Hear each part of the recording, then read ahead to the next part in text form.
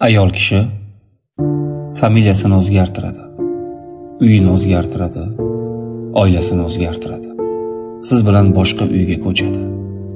Siz bilan bir o'choq quradi. Siz uchun homila bo'ladi. Homiladorlik uni vujudini o'zgartiradi. Tanadagi shishlar, og'riqlar, chidab bo'lmas to'lg'oq azobi ikki yo'l orasida qolib, sog'lom chaqaloq dunyoga keltiradi. Hattoki tug'ilgan chaqaloq ham sizning naslingizni davom ettiradi. O'ladigan kuniga qadar qiladigan barcha ishi yemak pishirish, uyingizni tozalash, onangiz va otangizning xizmatida bo'lish, farzandlaringizni katta qilish, tarbiya berish, sizning fe'lingizga moslashish, butun oila munosabatlarini bir maromda ushlab turish, sizga foydasi bo'ladigan barcha narsani, hatto sog'ligidan, go'zalligidan, qiziqishlaridan kechib bo'lsa ham qiladi. Shuncha narsalardan keyin ham u siz uchun go'zal va betakror bo'lib qolishi kerak. Buni uddalashi kerak.